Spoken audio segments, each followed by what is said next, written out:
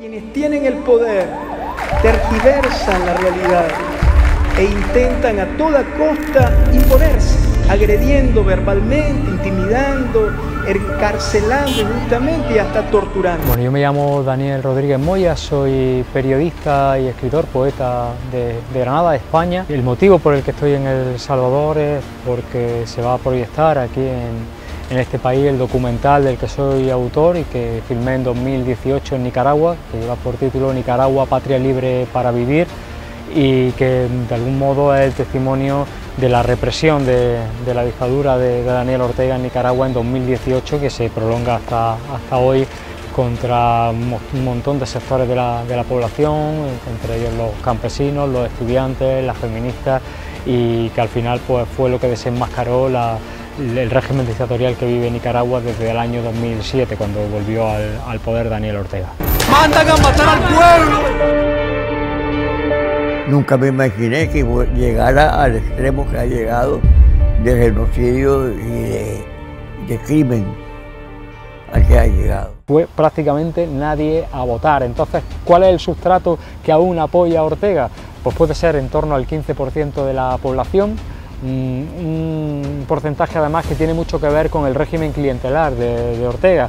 Eh, Ortega ha venido comprando voluntades a lo largo de, todos los periodos en los que ha gobernado, eh, administrando miseria, es decir, regalándole a las clases más desfavorecidas una laminita de zinc, eh, unas libras de frijoles, o sea, miseria realmente para tratar de comprar eh, voluntades.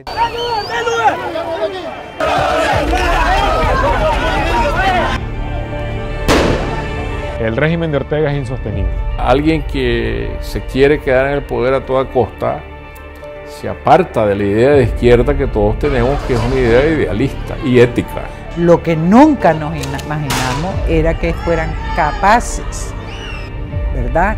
Como cualquier dictadura fascista, ¿verdad? A llegar a ser un pogrom. Bueno, el daño mayor ha sido el desmantelamiento absoluto de todas las ONG y de todas las organizaciones que durante un montón de tiempo han aportado muchísimo a Nicaragua, eso es lo que se perseguía, ¿no? Para, para Ortega eh, todo eh, lo que es eh, las la organizaciones no gubernamentales, etcétera, han sido un, una china en el zapato para, para él y él fijó su, tuvo una fijación clara de, de, ir a eliminar todo, todo ese entramado que, para él ha sido eh, terrible en el sentido de que eran organizaciones que fortalecían la democracia, los valores democráticos, con lo cual iban mmm, radicalmente en contra de lo que estaba instaurando en el país, una, una dictadura poquito al poquito que al final se ha convertido en una dictadura de facto de las dictaduras clásicas como cualquier dictadura que podamos tener en nuestro imaginario en el siglo XX, ¿no? una dictadura como la de Pinochet, como la de Videla o como cualquier otra dictadura clásica.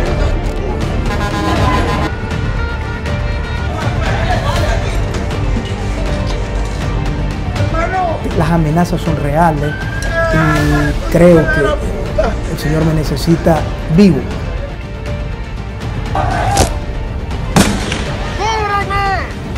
¡La